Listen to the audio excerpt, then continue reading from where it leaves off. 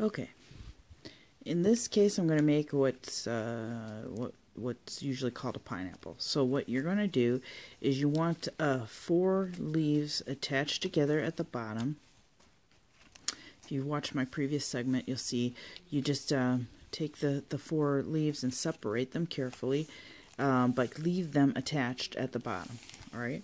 And um, I also like to snip off the the tips so that they're not too spindly. Um, it makes it easier to feed the, the leaves through. Um, and like I said, if you've got these little extra strings, you can just uh, cut them off, pull them off.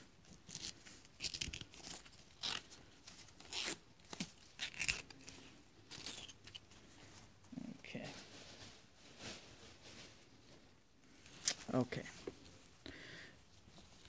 Um, if you've made lanyards before, this should seem fairly familiar, but basically what you're going to do is you're going to take the first, the two leaves in the middle, in the, in the center, um, and you're going to cross them so that they're going in opposite directions. Right. Then you're going to take a leaf from one side and you're going to go over and under. Alright? Then you're going to take the leaf from the other side and you're going to go over and under and make sure that you're coming out in between uh, the two leaves here like this so that it locks them together right if you come if you go out the other side it the it doesn't lock together right so basically what you're trying to do is you're trying to make a, a woven little box, right? Okay, now in uh, the other video I showed you that you you keep making the layers the same, the same direction, right? Um, but if in this case we're going to make it spiral, so the way to do that is to take the leaves and go across the box like a diamond, right? So we'll go across and across like a diamond, right? And you're going to take the the the uh, leaves from the side, and you're going to go perpendicular to those and go across, right? Feed this one through here. This causes this to spiral.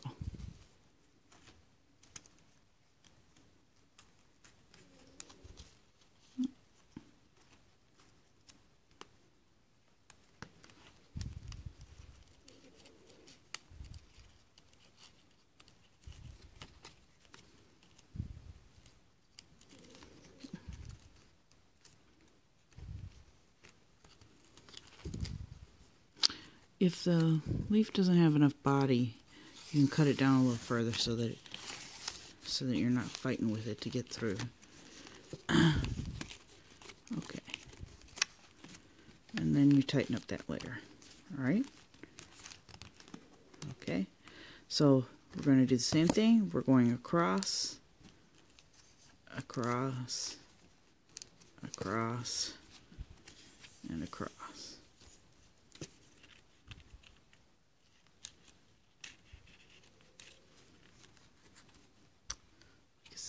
don't have a, if the tip is too thin to get through, just cut it off. Oh.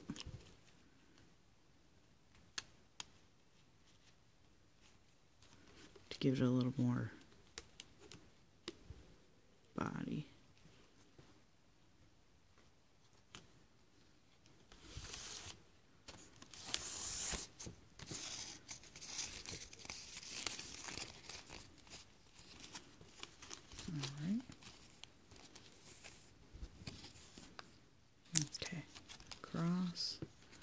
across, across, across.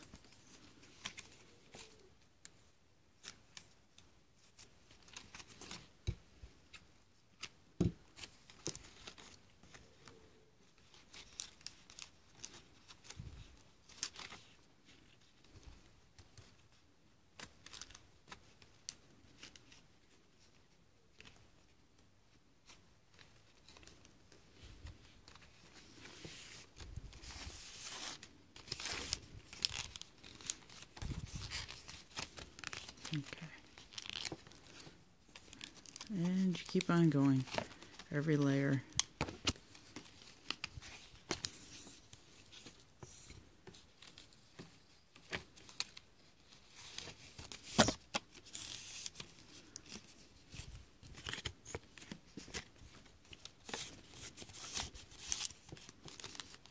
makes another layer.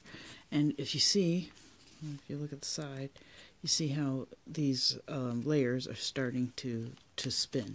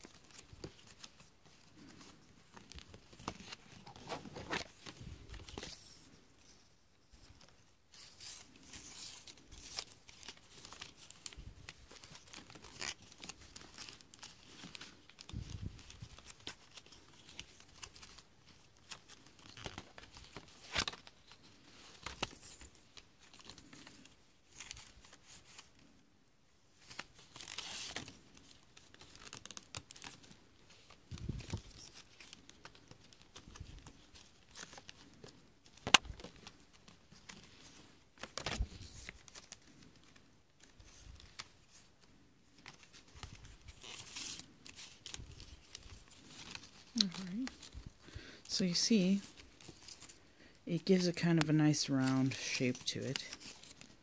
Um, they spin. And uh, this in particular, I think, looks really kind of cool when you tie them off uh, the top. I just make like a simple, sorry, a simple knot. Um,